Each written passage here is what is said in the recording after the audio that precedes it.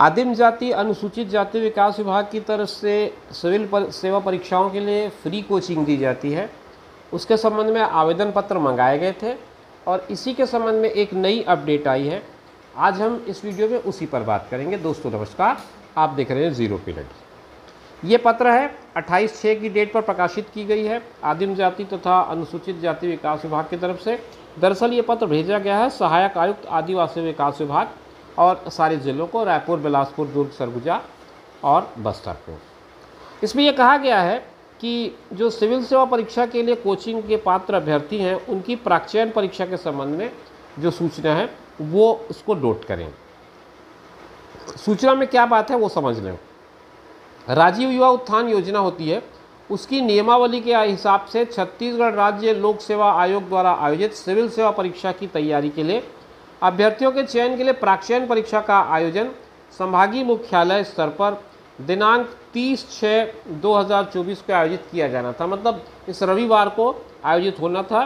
परंतु इसी दिन प्री डीएड और प्री बीएड की परीक्षा है तो उसके कारण यह परीक्षा की तिथि में संशोधन कर दिया गया है। और अब यह परीक्षा चौदह सात यानी कि चौदह जुलाई को आयोजित की जाएगी। समय बारह बजे का ही होगा। लेकिन डेट बदल गई है। बारह से ढाई के बीच ये परीक्षा होगी अब और डेट आपकी हो जाएगी चौदह सात की। पहले ये परीक्षा शनिवार रविवार तीस जून को होनी थी। तीस जून को एक महत्वपूर्ण परीक्षा बी प्री बी और प्री डी एल एड की हो रही है। तो जिसके चलते कुछ कैंडिडेट्स दोनों परीक्षाओं में शामिल होते हैं तो उनको मौका नहीं मिल पाएगा। यह देखते हुए विभाग ने इस प्राक्षयन परीक्षा की तिथि को परिवर्तित किया है। इसके अलावा इस पर और कोई नई अपडेशन नहीं है, नया कोई चेंज नहीं है। केवल परीक्षा की तिथि बदली गई है। तो अभ्यर्थी जिन्होंने इसके लिए आवेदन किया है, राजीव युवा उत्थान योजना के अंतर्गत सिविल सेवा की परीक्षा हेतु जो फ्री कोचिंग देती है सरकार, उस पर जो आवेदन किया गया है, उसकी डेट में परिवर्तन आया है। अभ्यर्थी इसको नोट करें और उसके हिसाब से अपनी उपस्थिति सुनिश्चित करें।